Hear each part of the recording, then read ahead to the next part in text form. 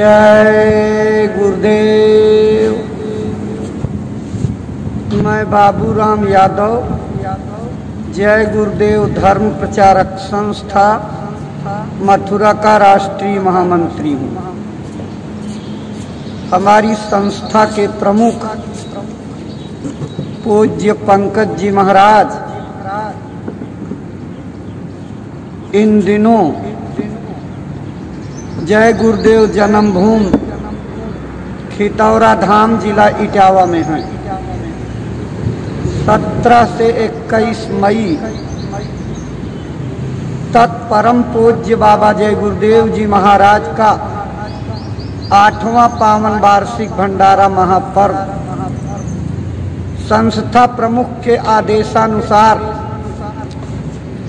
पूरे देश में घर घर हर्षोल्लास के साथ मनाया गया। जय गुरुदेव धर्म प्रचारक संस्था मथुरा। वैश्विक महामारी कोविड 19 की राष्ट्रीय और सामाजिक आपदा के संकट में देश के साथ खड़ी है। और हम सब लोगों को एकजुट होकर इस लड़ाई को लड़ना है और कोरोना को हरा देना है। वर्तमान में कोरोना मीटर के ताज़ा आंकड़े गंभीर चिंता के विषय हैं। अभक्ष भोजन और नशाखोरी का प्रभाव भावी पीढ़ियों पर पड़े बिना नहीं रह सकता। खान पान का हमारे चिंतन और विचारों पर गहरा संबंध है। मांसाहार गर्म मिजाज भोजन है और यह दूषित विचारों का जनक, आचरणहीनता क्रोध हिंसा उन्माद अपराध का कारण है। शराब में हज़ारों बुराइयाँ हैं।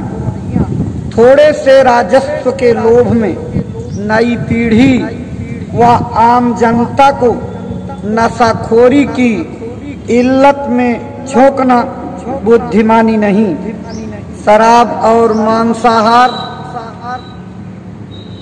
महामारी के अच्छे वाहक हैं। इनके सेवन से मानसिक और वैचारिक विकृति की जो महामारी फैलेगी, वह कोविड 19 से भी भयानक है। संक्रमण की वृद्धि में मांस, मछली, अंडे और शराब की दुकानें खोलना सहायक है। देश व प्रदेश के कर्णधारों को इस पर गंभीरता से विचार करना चाहिए। रामचरित मानस की एक पंक्ति है। अर्क जवास पात बिन भयऊ जस स्वराज फल उद्यम गयऊ। तात्पर्य है, बरसात की ऋतु आने पर अर्क और जवास, यानी मदार आदि के पत्ते झड़ जाते हैं, केवल डंठल बचता है। जैसे सुराज के आने पर दुष्टों के उद्यम, यानी दुष्टता प्रजनक धंधे खत्म हो जाते हैं। बुराइयों की जड़, मांसाहार और शराब को बढ़ावा देना। सुरो, सुराज की भावना से दूर जाना है। इस संबंध में हमारी संस्था के प्रमुख पूज्य पंकज जी महाराज की अपील के दृष्टिगत हम देश व प्रदेश के जिम्मेदारों से अपील करते हैं कि शराब मांस मछली अंडे की दुकानों को तत्काल बंद किया जाना चाहिए, जिससे इस महामारी के खिलाफ लड़ी जा रही जंग को सरलता से जीता जा सके।